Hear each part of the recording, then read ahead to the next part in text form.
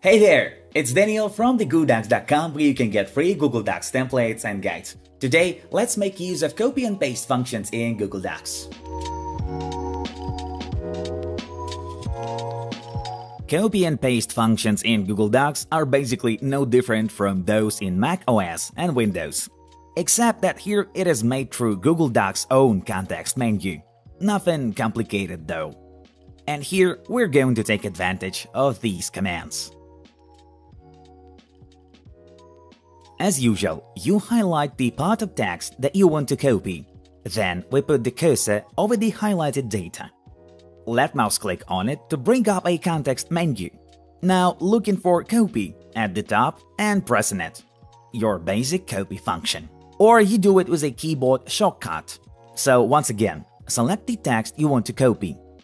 But this time press Ctrl plus C on a keyboard for Windows or Command plus C for Mac.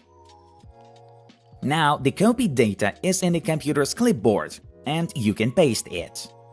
For that, place the insertion point to where you want to insert your data.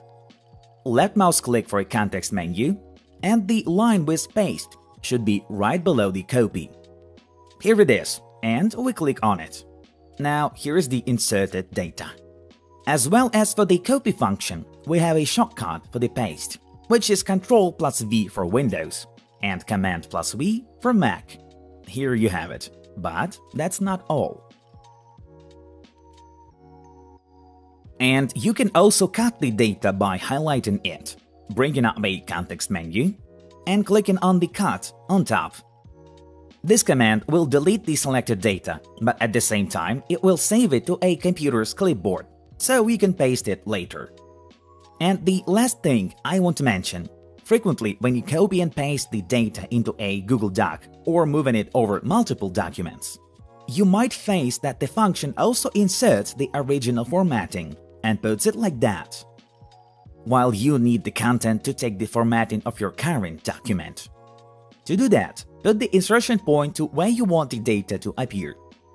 Bring up a context menu with left mouse click, and here we locate and press Paste without formatting or do it with a shortcut, which is Ctrl plus Shift plus V for Windows, or Ctrl plus Shift plus V for Mac.